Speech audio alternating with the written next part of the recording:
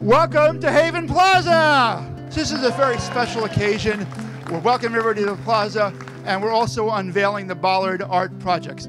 I am Emely Pérez. I'm an illustrator based in Washington Heights. I've lived here almost three years now. I used to live in Mexico City. I'm half Mexican, half Korean. I came here for college and then I just stayed. It reminds me of home.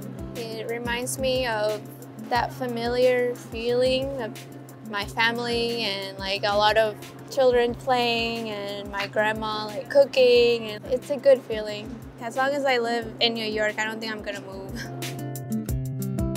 It's really, really exciting to be invited by Columbia to include art here and have a local artist paint these beautiful bollards that are inspired by native flora and fauna. I am painting on the bollards. I'm going to be painting all of these bollards. This is inspired by the Welikia project. That project is uh, catalogs the native flora and fauna of New York before colonization up until now. What I try to do is to bring up conversation uh, about issues that affect me.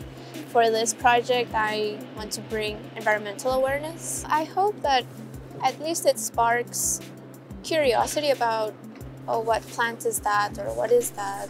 And try to find it somewhere in the city or like in the parks. I specifically chose uh, plants and animals that I could see, so like dandelions, asters, and black-eyed Susans.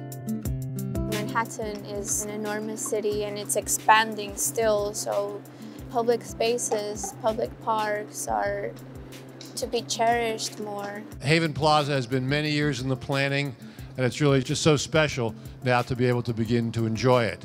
We very much are committed to making this a true neighborhood resource.